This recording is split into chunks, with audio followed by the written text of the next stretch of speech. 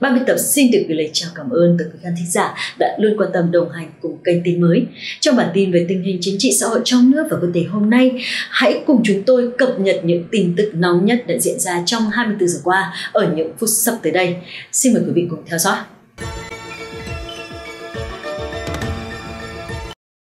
Công điện số 18 chỉ đạo ứng phó bão số 1 của Thủ tướng Chính phủ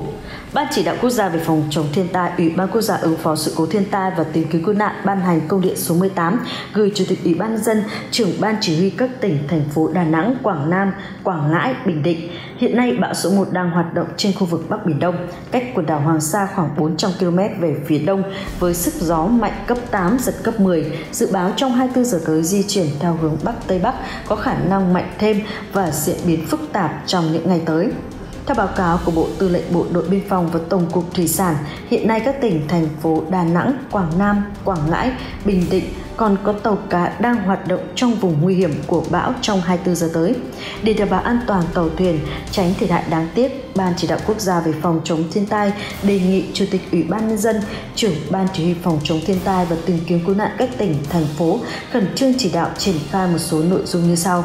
chỉ đạo các cơ quan chức năng và chính quyền địa phương khẩn trương giả soát, kiểm đếm các tàu đang trong khu vực nguy hiểm bằng mọi biện pháp thông báo, kêu gọi, hướng dẫn các phương tiện tàu thuyền di chuyển thoát ra khỏi khu vực nguy hiểm hoặc về nơi tránh trú. Báo cáo công tác triển khai và kết quả thực hiện về ban chỉ đạo trước 6 giờ 30 phút và 17 giờ hàng ngày để tổng hợp báo cáo Phó Thủ tướng Chính phủ, trưởng ban đề nghị Chủ tịch Ủy ban nhân dân, trưởng ban chỉ huy phòng chống thiên tai và tìm kiếm cứu nạn các tỉnh thành phố quan tâm chỉ đạo thực hiện công điện hỏa tốc số 17 chỉ đạo ứng phó bão số 1 ngày 30 tháng 6, Ban chỉ đạo quốc gia về phòng chống thiên tai đã ban hành công điện hỏa tốc số 17 chỉ đạo ứng phó bão số 1 để chủ động ứng phó với diễn biến phức tạp của bão và mưa lũ sau bão, Ban chỉ đạo quốc gia về phòng chống thiên tai, Ủy ban quốc gia ứng phó sự cố thiên tai và tìm kiếm cứu nạn yêu cầu Ban chỉ huy phòng chống thiên tai và tìm kiếm cứu nạn các tỉnh, thành phố, các bộ ngành chỉ đạo triển khai thực hiện một số nội dung sau. Thứ nhất, Ban chỉ đạo quốc gia về phòng chống thiên tai yêu cầu Ban chỉ huy phòng chống thiên tai và tìm kiếm cứu nạn các tỉnh, thành phố theo dõi chặt chẽ diễn biến của bão, thông báo cho chủ các phương tiện, thuyền trưởng các tàu thuyền đang hoạt động trên biển biết vị trí, hướng di chuyển và diễn biến của bão để chủ động phòng tránh, thoát ra hoặc không di chuyển vào khu vực nguy hiểm. Tổ chức theo dõi kiểm đếm tàu thuyền đang hoạt động trong khu vực ảnh hưởng của bão, giữ thông tin liên lạc thường xuyên với chủ các phương tiện để xử lý kịp thời các tình huống xấu có thể xảy ra, quản lý chặt chẽ các phương tiện ra khơi, kiểm tra hướng dẫn neo đậu tàu thuyền tại bến. Đối với vùng đồng bằng và ven biển Bắc Bộ, chỉ đạo công tác đảm bảo an toàn các lồng bè, khu nuôi trồng thủy sản trên biển, ven biển, các tuyến đê biển sung yếu hoặc đang thi công ra soát sẵn sàng tiêu ống bảo vệ sản xuất nông nghiệp, khu vực trũng thấp, khu đô thị và khu công nghiệp thông tin tuyên truyền và có biện pháp đảm bảo an toàn cho khách du lịch nhất là trên các đảo. Đối với miền núi phía Bắc, ra soát phương án sơ tán dân tại các khu vực có nguy cơ cao xảy ra ngập sâu, lũ quét, sạt lở đất, chuẩn bị lực lượng phương tiện, trang thiết bị, nhu yếu phẩm theo phương châm 4 tại chỗ để chủ động sẵn sàng ứng phó với tình huống xảy ra sạt lở chia cắt, ra soát phương án bố trí lực lượng, chuẩn bị vật tư, phương tiện để khắc phục sự cố giao thông kiểm tra giả soát sẵn sàng phương án đảm bảo an toàn các hồ chứa và hạ du, đặc biệt là các hồ chứa thủy điện nhỏ, hồ thủy lợi sung yếu xả lũ, bố trí lực lượng thường trực để sẵn sàng vận hành, điều tiết và xử lý các tình huống, chỉ đạo ra soát kiểm tra công tác đảm bảo an toàn đối với các hầm mỏ, khu khai thác khoáng sản. Thứ hai, Bộ Tài nguyên và Môi trường tổ chức theo dõi chặt chẽ, dự báo, cảnh báo và thông tin kịp thời về diễn biến bão, mưa lũ, nguy cơ lũ quét, sạt lở đất, Thứ ba, Bộ Ngoại giao liên hệ với các quốc gia trong khu vực đề nghị tạo điều kiện cho ngư dân và tàu cá vào tránh trú và hỗ trợ, cứu nạn, cứu hộ khi có yêu cầu.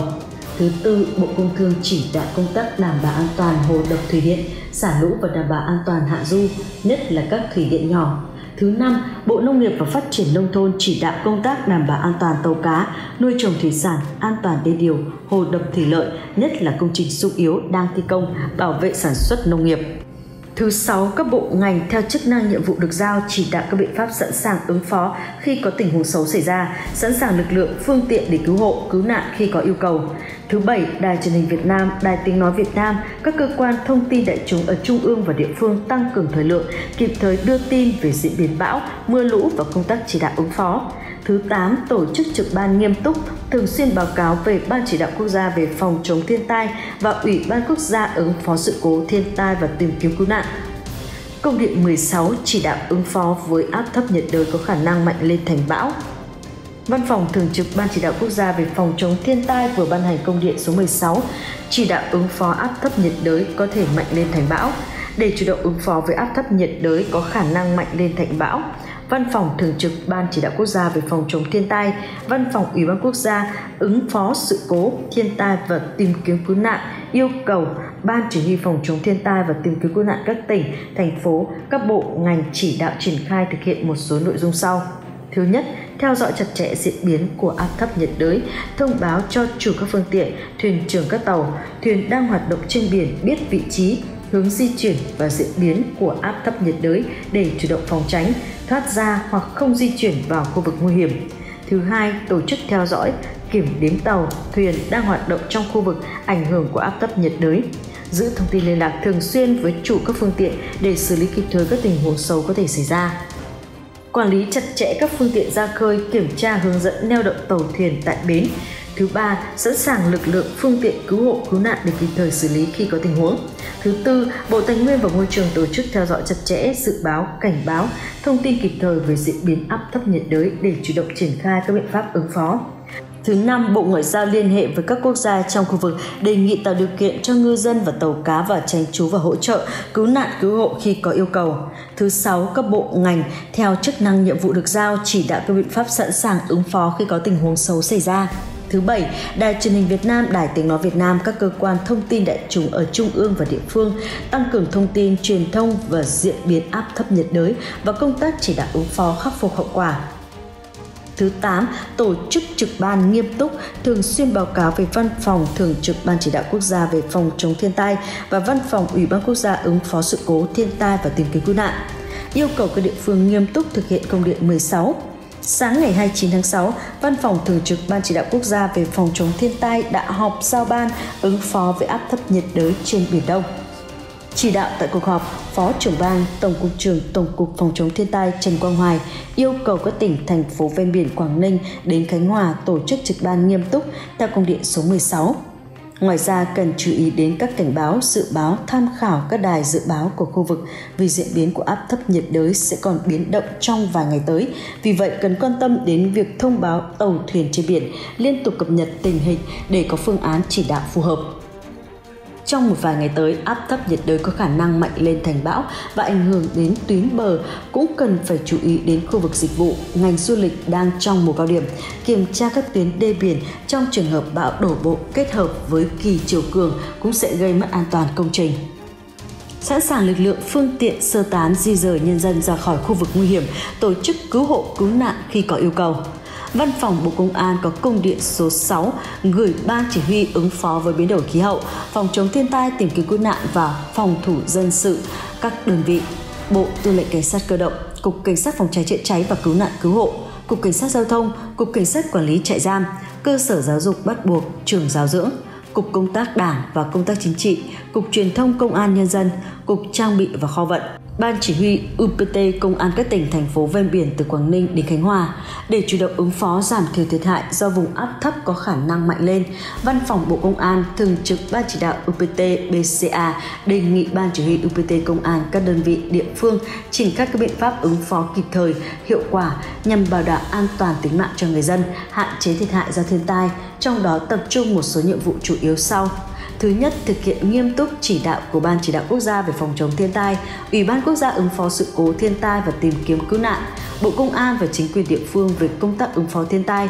Thứ hai, theo dõi sát diễn biến của vùng áp thấp để triển khai các phương án, kế hoạch, lực lượng, phương tiện và điều kiện ứng phó, bảo đảm phát huy vai trò xung kích tuyến đầu của lực lượng công an nhân dân trên mặt trận phòng chống thiên tai bảo đảm an ninh trật tự tại các địa phương, bố trí lực lượng kiểm soát hướng dẫn giao thông, đảm bảo giao thông thông suốt trên các trục giao thông chính khi xảy ra thiên tai. Thứ ba, sẵn sàng lực lượng phương tiện phối hợp chặt chẽ với các ngành, các lực lượng sơ tán, di rời nhân dân ra khỏi khu vực nguy hiểm, tổ chức cứu hộ cứu nạn khi có yêu cầu của địa phương. Thứ tư, chủ động các phương án phòng chống thiên tai trong cơ quan, đơn vị, công an, bảo đảm an toàn về tính mạng, sức khỏe cho các lực lượng trực tiếp làm nhiệm vụ phòng chống thiên tai và an toàn trụ sở, tài liệu, trang thiết bị làm việc, các cơ sở giam giữ của lực lượng công an nhân dân. Thứ năm, kịp thời thông tin về hình ảnh hoạt động của lực lượng công an, nhân dân trong phòng chống thiên tai. Tổ chức tốt công tác trực ban, trực chỉ huy, đảm bảo quân số sẵn sàng triển khai các nhiệm vụ bảo đảm an ninh trật tự và phòng chống thiên tai, thực hiện nghiêm chế độ thông tin, báo cáo về văn phòng bộ, số điện thoại 069 234 1042 0913 555 323 số máy fax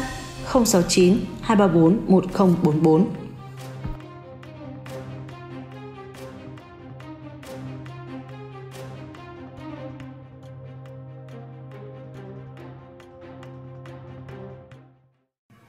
Cảm ơn quý vị và các bạn đã chú ý theo dõi. Mọi kỳ nô góp của quý vị hãy để lại trong phần bình luận video này để chúng tôi có thể kịp thời giải đáp những thắc mắc giúp quý vị. Nếu quý vị thấy hay thì hãy ấn like và nhấn biểu tượng chuông phía dưới để không bỏ lỡ những video mới nhất của ban biên tập chúng tôi nhé. Hẹn gặp lại quý vị và các bạn trong các bản tin tiếp theo của tin mới.